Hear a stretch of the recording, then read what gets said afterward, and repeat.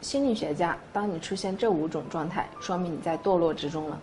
人们的情绪情感具有功能性，当人们快乐的时候，做事情就有一种积极的情绪和行为；反而当你具有消极情绪的时候，你的工作效率就会降低。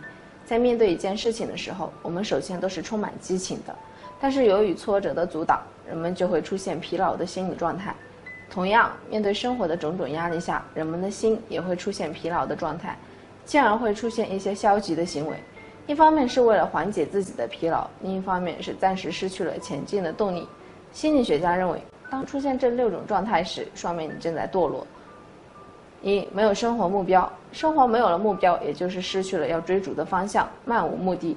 既然没有追求，也不会产生想要去行动的动力，更加不会产生相应的行为了。与其说是一种随遇而安的状态，倒不如说是逃避生活现实来得更加确切。每天浑浑噩噩的生活，缺少活力和意义。二，终日沉迷游戏。有人说，游戏可以放松心情，正好可以缓解工作的压力。适当的玩游戏是无可厚非的，但是终日沉迷其中，卸下身上的责任和义务，只一味的去追求个人享乐，这就是一种堕落的表现了。它会慢慢的吞噬掉你的意志，让你越陷越深。三，不会充实自己。生活总是给人枯燥无味的感觉，但是当自己变得充实的时候，也就会觉得生活变得充实了。人需要不断的成长，不断的进步，即便是停滞不前，也是退后的表现。当你选择停止不前进的时候，就说明你没有前进的动力。四，不停抱怨生活，抱怨是内心不满的一种宣泄。当出现不停抱怨的情况时，说明你正在处于一个负性的状态下。这种状态会让你对周围的一切都充满敌意，陷入一种恶性循环中。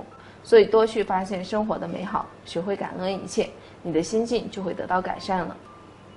五、忽视身体健康，人堕落的一种表现就是对自己不负责任，放任自己去干任何事情，不在意一些社会规范，也不在意自己的原则，忽视身体健康就是对自己身体的不负责任。身体是革命的本钱，如果连本钱都没有了，我们又如何去奋斗呢？